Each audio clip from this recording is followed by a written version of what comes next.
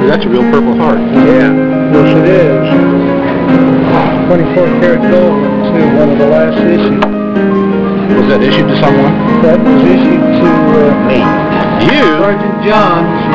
We're doing some combat with General West Point. Are you serious? I'm very serious. Oh, okay. Can you, uh, Back in 1969. Vietnam? Yeah. Okay. Now,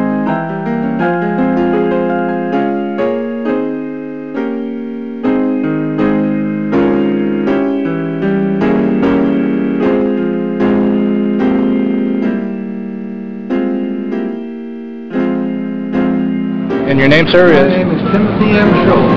Okay, and uh, both of you are from here in Olathe, is that correct? No. No. Okay, well tell me, where are you from? Kansas City, Missouri. Kansas City, Missouri. Very good. You've been a lifetime resident there, or? No.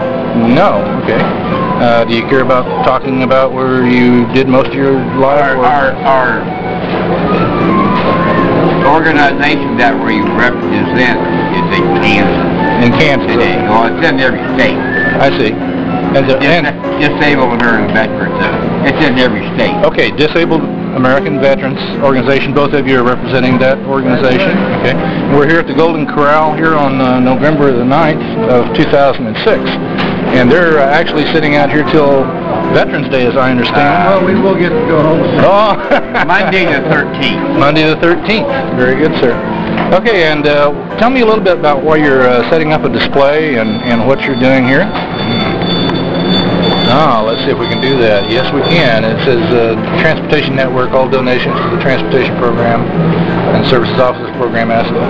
Very good, sir. Uh, all right. Know, we, The uh, budget for the Uh-huh. Department of Veterans Affairs for transportation of veterans is guess how much?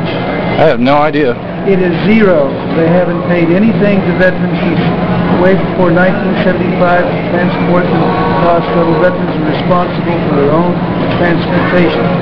Organizations such as the Disabled American Veterans and other service organizations solicit money and we donate vans to the government.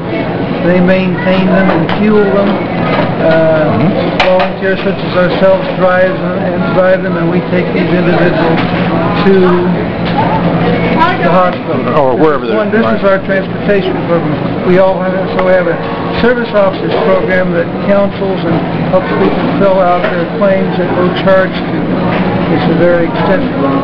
Right here today, we are here for uh, just veterans awareness to the public and to honor veterans along with the Golden Corral, who is very generous in their uh, Exactly. things that they do for veterans. Now, the program is only on the 13th. They couldn't do it on Veterans Day just because of the pressure there. But some uh, certain time, I believe it's at least from 5 to 9 o'clock on Veterans Day, all veterans will receive a free meal. Their dependents and sig- significant others, however, cannot. They will have Well, so if you bring the kids, you're not going to get here, you're not going to get a free meal. They have to make money somehow, don't they? Well, no, uh, actually, the Golden Corral will actually lose money on that day, probably, but they will be, uh, it's just their way of saying thank you to the veterans. every corral, Golden Corral in the United States will do this on November. Oh, is that right? Every Golden Corral in the United States? Yep. Uh, I will, I will see to it that, uh, your statements will be out there and This- everybody will see it before Monday. This is How's a that? nat, this comes down from national, Uh-huh. uh, started about six years ago. Very good, very good. They do it every year now. Uh, let me, let me skip back before we get too far off the subject because I keep looking at these medals and, and, uh, that's what veterans are all about. And disabled No. veterans or, or wounded veterans or No, what veterans are about freedom, I know. service, it's not about medals. None of us ever did it for a medal. That's right, exactly. I want to emphasize that. I stand If you're in a unit that's commanded by somebody that is seeking medals, you should get out of it as quickly as you can. Very good, sir. Very good, sir. Let me uh, let me ask both of you. Uh, uh, I think we touched upon where you actually did your service was in Vietnam. Is that correct? All right. I have a brother-in-law that's done three tours, so I you know I have to ask this. I have no idea. Uh, and you were there from what year to what year do you recall? Uh, November of 69 through December 69. 69. One month. Oh, that's enough. Short timer. It was one month too long. I, I've got another friend that was in the Navy, and he, he thought being in the Navy would keep him out of the harm's way, and he, Oh. he said, uh, he said they, they, uh, started shelling offshore over there, and it was okay until they started shooting back. and sir, what, uh, can you tell me what, what area or, uh, I am a retired Air Force officer. I was a regular officer in the United States Air Force. Ah, very My good. Southeast Asia service was with, as an advi transportation advisor to the Republic of Korea Air Force. ah, very good. And in that capacity, because of my security clearance and my uh, diplomatic papers, I went TDY in Southeast Asia.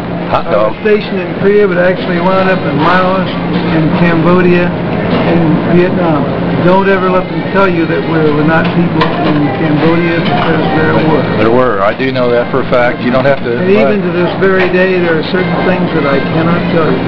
and we wouldn't want you to, especially on this program. Well, I to, especially since it would not go well for me if I did. no, no, I wouldn't want you to do that, sir. But uh, basically, it was a military assistance program where we transferred uh, weapons and money and material to foreign governments to support our war effort. Right. Believe me, all the stuff was transferred, was signed for, it and accounted for. Right. And how well it was used as a uh, Yeah. I'll give you a very good example. We got a gun camera photo in one day about an amphibious assault was made by the communists with tanks. And was the Royal Cambodian Air Force when they were still on our side. and we blew the cameras up and we looked at it and we realized that they had attacked a herd of elephants. The people live there, they're supposed to know what they look oh like. my gosh. Those weren't amphibious tanks. Those are The elephants. first plane just peeled off and they all followed in and just machine gunned the holy hell out of the world. Oh my God. With allies like this, how could we help it then? Not only are we shooting the friendlies, we're shooting the animals. It, it wasn't so funny at the time, but on recollection, Uh, I understand, and this is exactly the kind of information I'm after. These stories that that are so, so if you ever, humorous. if you ever showed, if you ever showed a war movie, there'd be eight guys sitting around playing cards. The movie would be four and a half hours long. There'd be ten minutes of slaughter. I understand. I But understand. I thought you might enjoy the elements. Yeah, that's good. I thought I